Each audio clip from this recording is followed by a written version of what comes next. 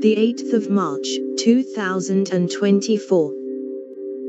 Theresa May to stand down as MP at next election.